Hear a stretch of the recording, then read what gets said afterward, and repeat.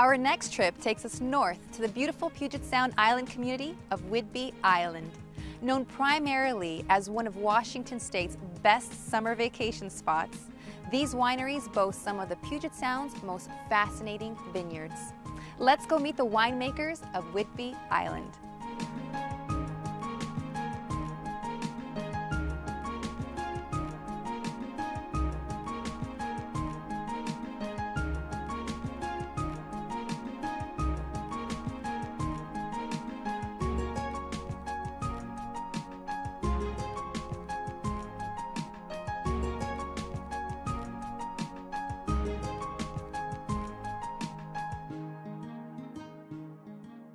Whidbey Island Winery was started in 1991.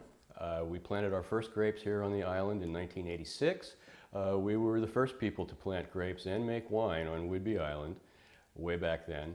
Uh, our initial year's productions were strictly from our own vineyards here on the island. Now, of course, we use a lot of grapes from the rest of the state. Uh, our production was 400 cases the first year we opened. Uh, we're now up to something like 3,500 cases a year. Uh, the grapes we grow here on Whidbey are rather unique. You won't find them in any other part of the state except right here in the Puget Sound area. Uh, very aromatic, flavorful whites, perfect with the seafood that is also a hallmark of the area. The best place to experience our wine and to get to know it is right here in our tasting room.